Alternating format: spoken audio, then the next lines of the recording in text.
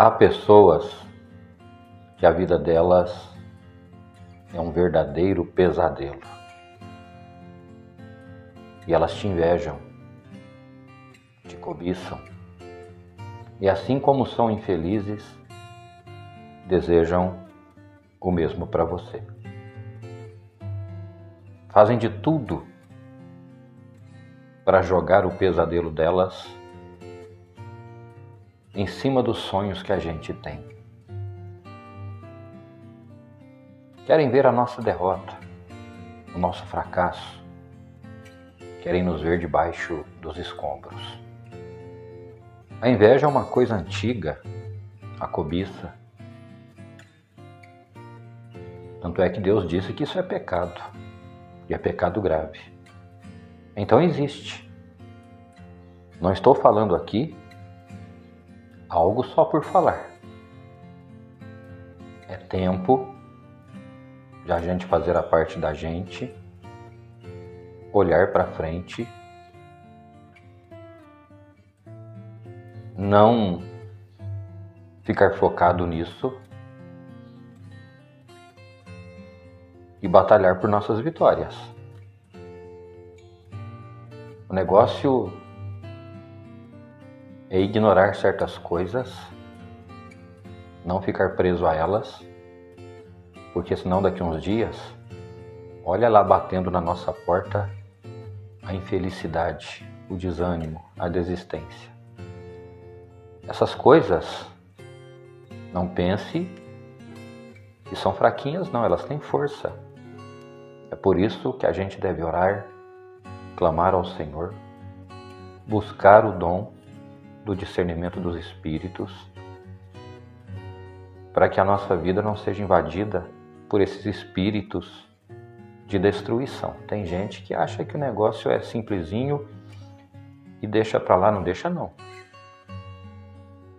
Ore a Deus, deixa para lá no sentido de não ficar indo atrás de explicações, por que, que você está fazendo isso, por que, que você age assim, por que, que você fala isso, por que você faz aquilo, não. Larga a mão disso. Não vá pedir explicações. Deixa para lá. Só não deixe de orar, de se preocupar com isso. Senhor, o Senhor tem abençoado a minha vida, tem abençoado a minha casa, me dado um lar maravilhoso. E olha só os espíritos ruins que estão cercando a minha vida. Querem a minha destruição, querem a minha ruína. Então, meus irmãos, Continue sonhando. Continuem batalhando, projetando coisas boas para vocês. E eu vou repetir aqui o que eu já repeti inúmeras vezes e vou relembrar vocês e a mim ainda muito mais. Segrede 99% da sua vida para as pessoas. Não fique falando para um amigo, para uma amiga, por melhor que seja, dos atributos do seu esposo, da sua esposa, dos seus filhos. Não fique falando como, como estão os seus negócios. Vai fazer uma viagem, tem época que é melhor ir caladinho. Vai conhecer o lugar que você deseja.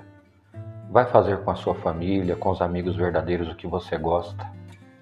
Mas tem pessoa que, se você notou nela um dedinho diferente, Olha, tenha amizade, converse, ligue, atenda o telefone.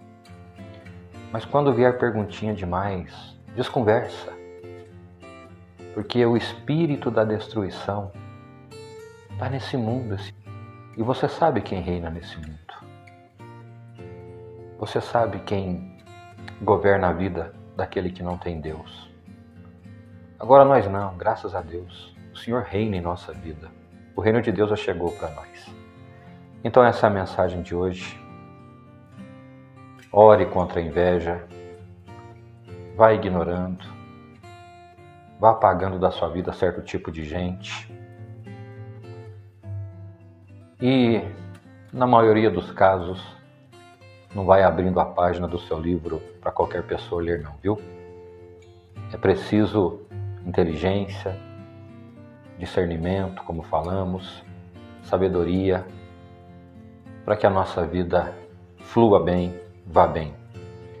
Comece o dia com uma boa oração, com pensamentos positivos, contemple a glória do Senhor aí dentro de você. Você é templo e habitação do Espírito Santo. É assim que você terá dias maravilhosos, longe das mãos destruidoras do mal. Fiquem com Deus.